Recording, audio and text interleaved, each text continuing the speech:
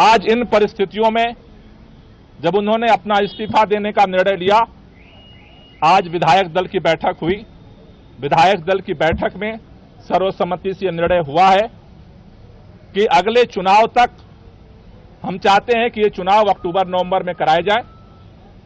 जल्द से जल्द कराए जाए।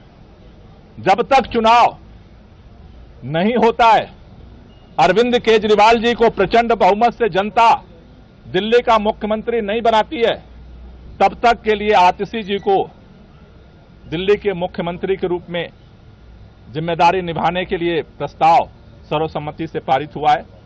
आतिशी जी को दो ज़िम्मेदारी मुख्य तौर पर सभी विधायकों की तरफ़ से दी गई।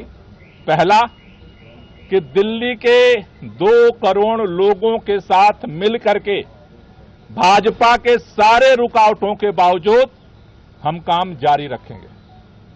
और दूसरा, भारतीय जनता पार्टी अरविंद केजरीवाल के नेतृत्व में दिल्ली के लोगों को जितने काम किए गए, उन सबको रोकना चाहती है। बिजली, फ्री बिजली रोकना चाहती है, फ्री पानी रोकना चाहती है, स्कूलों को खराब करना चाहती है, मोहल्ला क्लिनिक बंद करना चाहती है, महिलाओं की यात्रा को रोकना चाहती है, बुज़ुर्गों की तीर्थ यात्रा को रोकना चाहती है अभी हमने देखा बुज़ुर्गों की पेंशन रोक दिया पाँच महीने तक।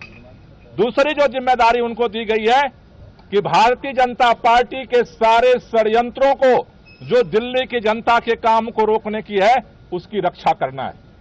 हमें कल भी इस भाजपा के षडयंत्र अगर आप ये वीडियो YouTube पर देख रहे हैं तो हमारे चैनल को सब्सक्राइब करें और बेल आइकन को दबाना ना भूलें। अगर आप Facebook पर ये वीडियो देख रहे हैं तो हमारे पेज को लाइक करें।